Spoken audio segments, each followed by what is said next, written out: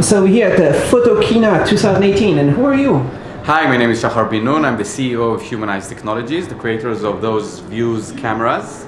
So you say Humaneyes technologies? Humaneyes Technologies. So you humanize the technologies?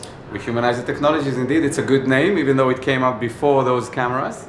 And uh, Vuze Plus is uh, an existing product that we have, a very successful 3D 360 VR camera.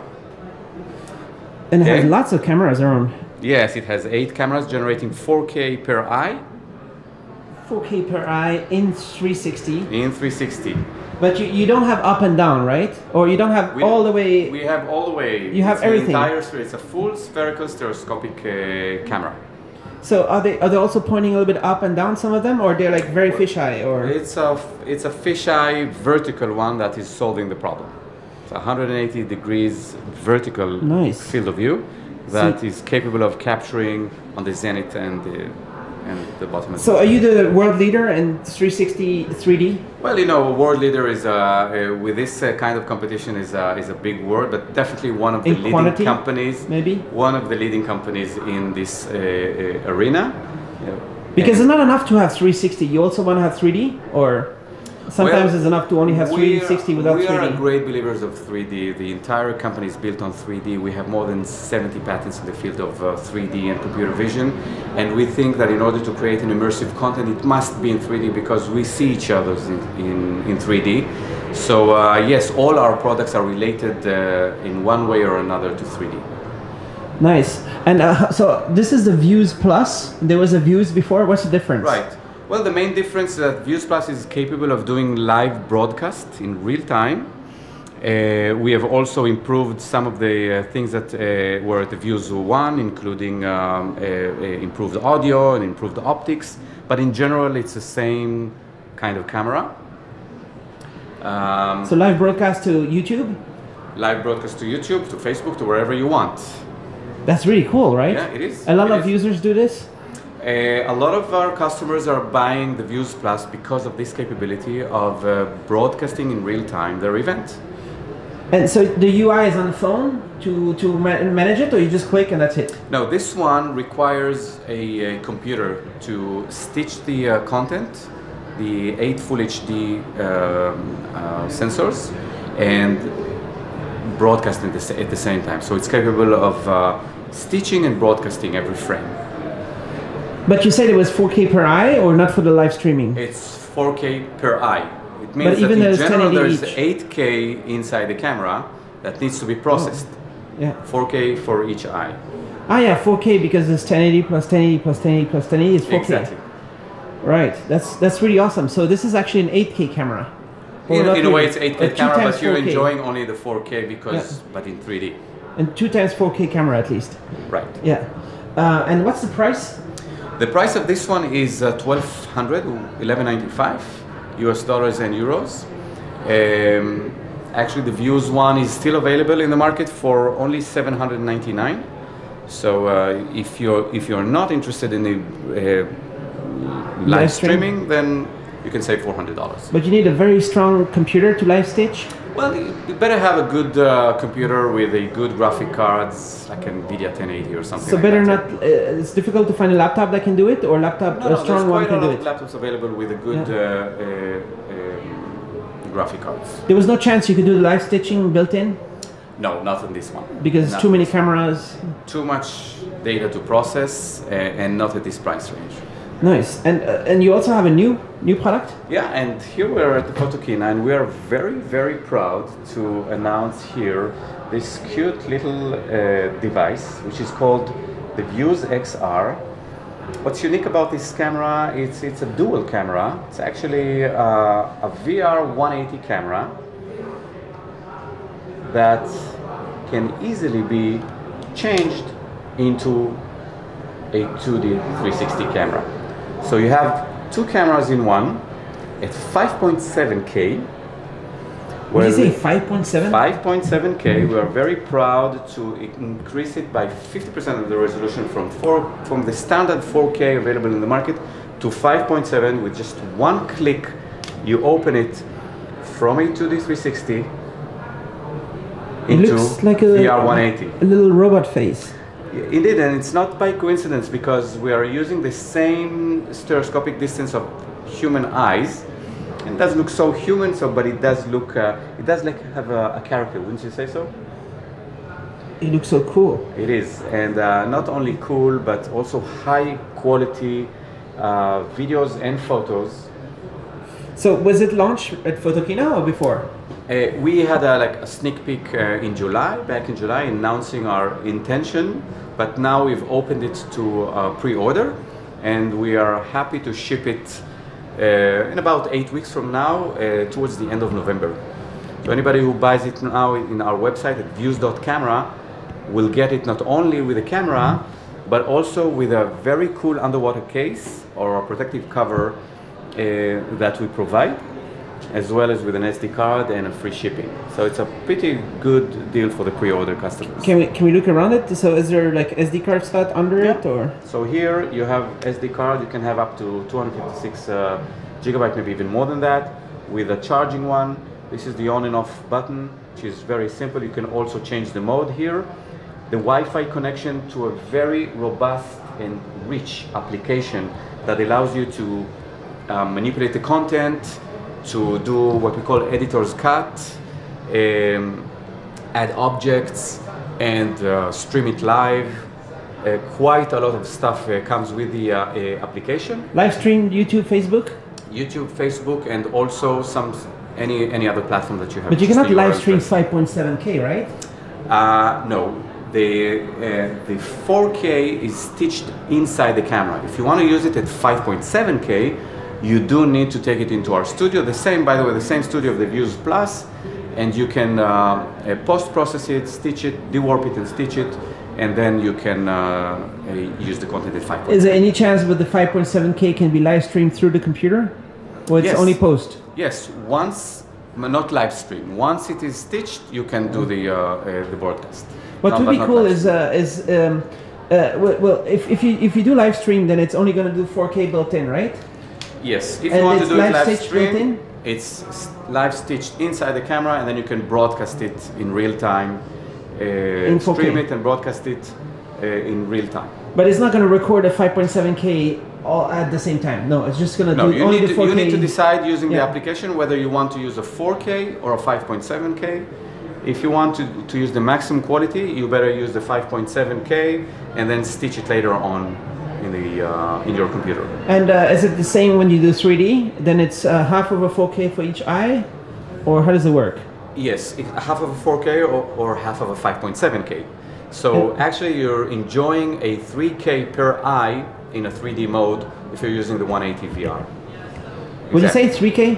3K per eye? Yes, yes, slightly less than the 3K. You know, half of 5.7. Is that the one? Half of point. Half, yeah. half 5.7K. Nice. Um, uh, what's the battery life? Uh, how does it compare with some of the other? Uh, well, well, uh, for the Vuze uh, Vuze plus, we were very proud to have a two hours recording time. Uh, for this one, since it's a more consumer one and the space is a bit smaller, we have a one hour recording time, which is good enough, I think, for most cameras. Obviously, if you are using a power bank, you can extend it as much as you want so it looks very nice that it, it looks like the so the lens is uh, you know it's there's a space here a little bit. So is that the, the, the best design that can be done for a full 360 design? We think that the design is remarkable. Nothing less but remarkable. Uh, it is um, for the performance also not just for the design for the performance for the for the design and for any other aspect it may look like a simple camera, and that's good that it looks like a, a simple camera, but think about how complex is it to create a dual camera with the, the mechanical uh, capabilities of a camera that needs to change thousands of times from 180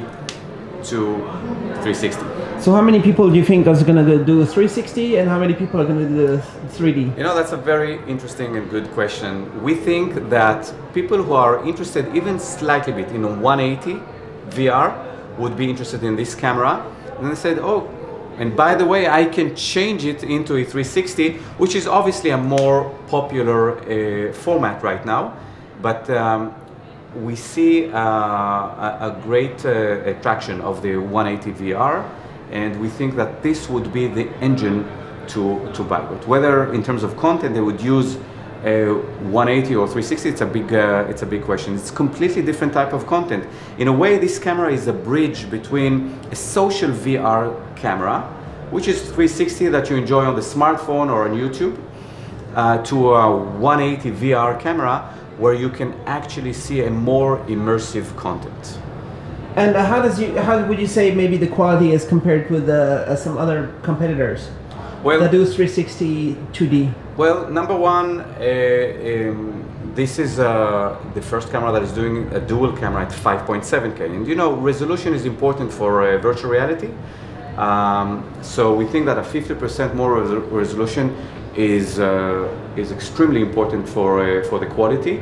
In all other aspects, I think it's like uh, similar to the leading 360 cameras and uh, similar to the leading 180 VR. But it's, the nice thing here is that it's the same device. And uh, YouTube is also doing this a lot of promotion for the 160, uh, 180 VR, right? Yes, and we are Is very it like a new kind of thing? yes, and we are very proud to say that we are working very closely with the YouTube team, uh, uh, an amazing team that is pushing very hard this format, and we are um, in the process of certification of certifying this camera to the 180 VR format of uh, YouTube. It's at the end of the process, so we'll, we'll finish it up in the next few weeks. Any chance to connect the external mic? Or that's not possible. You have to do it uh, post processing. Um, with external mic, uh, yes, you have to do it with the post-processing. Yeah. But, But is we that do supported have, in we your, do in have your four app microphones potentially? here. Ah, we we do have four microphones here that, uh, and another one here behind that with a, a relatively, you know, inexpensive uh, consumer camera that is capable of not only capturing in 3D and in 360, uh, but is also capturing 360 audio. But this, as I said before, it's done in the post-processing of our studio. So you do 360 audio, high quality. High quality 360 audio. uh, Like uh, people don't need to, they even don't even need, want to consider an, ex, an external mic. It's good enough. Well, you know, external mics also has some other things. If, for example, if you want to use it for an interview like that, Yeah. uh, it's not uh, it's not the right uh, purpose for that. But if you're going to use it for uh, uh, ambisonic audio, then it's uh, it's doing it uh, very well actually. So uh, you have a big booth right here at uh, Photokina. Can we look Yes. around for a second? Yeah. You have some stuff you're showing. Yeah, sure. So let's walk around. Nice. So So what are they doing right here? Oh, this is a green screen. This is a very interesting. Uh, this is a green screen that you can you can be shot and choose the scene that you want, whether it is under the water, whether it is a dancing scene, or whether it is a Dracula scene as you want. So the uh, user is choosing that, and we are both we are uh, shooting the user and actually place the user inside a scene that was already shot by the Vuze camera, and that becomes really realistic. You actually see it on the see yourself. You can actually Can we see see yourself. what he's seeing? Let's see. Yeah. Uh, this is it, and, and it, it is. So you position him dancing right there with these guys. Where is he? Ah, he's dancing right there. Yeah. But the other guys were not there.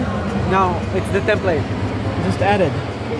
So that's that's a, that's a very cool uh, uh, activity that we have here in the booth. Let's see some other stuff here at the booth.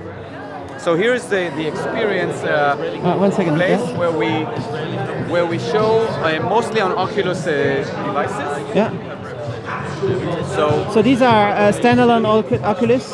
These are standalone Oculus, but uh, I'm uh, I'm What, what kind of stuff is going on in there? Well, everything that we shot basically on the Vuze uh, on the Vuze Plus, on the Vuze One, all the kind of uh, contents are created together with NASA and National Geographic in the space, under the water, inside the mouth of a shark, uh, with. Uh, Who, uh, uh, which of your employees did you send to the shark? Actually, one of our customers Ah, okay. went there and shot uh, uh, with the uh, with the, actually the Vuze Plus camera. And then the shark came, wanted to eat the camera with its case, found out that it's not so interesting and left. And the experience that we got out of it is visiting the mouth of a shark. which is a which is uh, in 3D, by the way. You see all those uh, with this this guy. with no, actually with uh, with this guy. It's uh, we have an underwater. Speaking of uh, uh, waterproof, let's see the underwater section of the booth. So here you see the uh, the future uh, 360 like, yeah. of the Vuze XR. Uh. So so that goes in there. That goes in there. And here you see the underwater case of the Vuze Vuze Plus.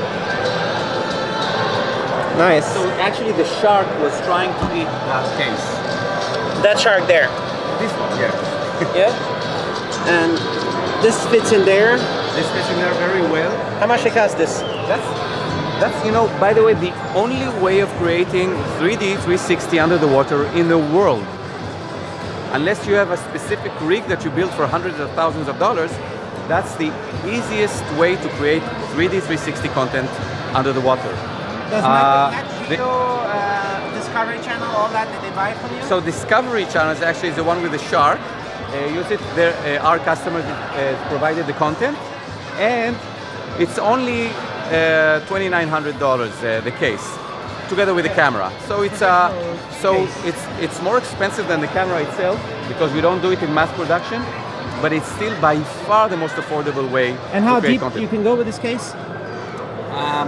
That's another interesting question. We thought that it would be up to only 100 feet, and our customer took it uh, way below 100 meters. But it gets too dark there, and it still worked well. Yeah. Yeah, because you need a very sen- uh, sensitive cameras to go so deep, right? Yeah. And uh, it's not designed for super darkness, right? So, So what are they checking? on the- Faster, faster, come on, come on.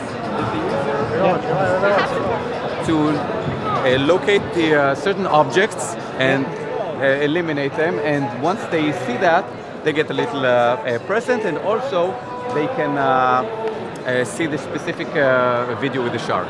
So let's walk over here. There's uh. Uh, just a demos around here. Yeah, and that's the that's the main demo purpose of all our cameras. We have uh, the Vuze Plus here that is capable of uh, shooting everything here and, and um, uh, streaming it directly to the big screen. And then we have all the uh, uh, the cameras around you with all the various colors, including the uh, Vuze XR. The new So Vuze what's XR. what's the price? The price of this camera is 439 US dollars in the US, 439 euros in Europe.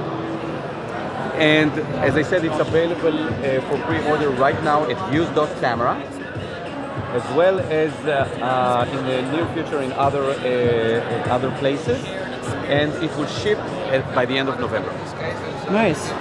So uh, it's an exciting world, uh, the 360 camera business and all that. We are It's definitely been, enjoying that that There's world. been a lot of uh, talk about it in the last few years, right? But what do you, what do you see about the future of it? Well, uh, we haven't seen yet mass adoption of uh, of the, the, the mass market of uh, VR, but what we are seeing is uh, steadily growing this uh, uh, business. Still for VR enthusiasts, still more for professionals, still for people who are trying to make money out of VR, but.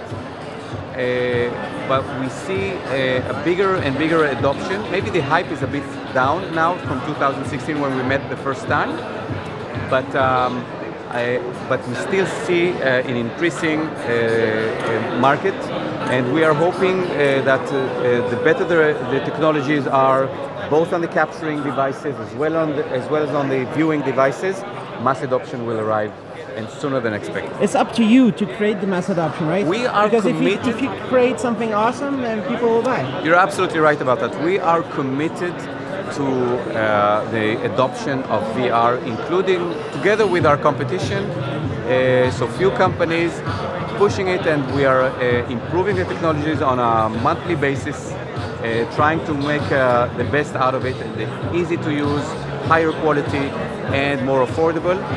And you can see, I think, the progress uh, not only on the capturing devices, but also on the platforms like the YouTube and the Facebooks of the world, as, as well as the viewing uh, devices. So it's moving forward steadily, and we are hoping for the mass production, uh, mass adoption to come.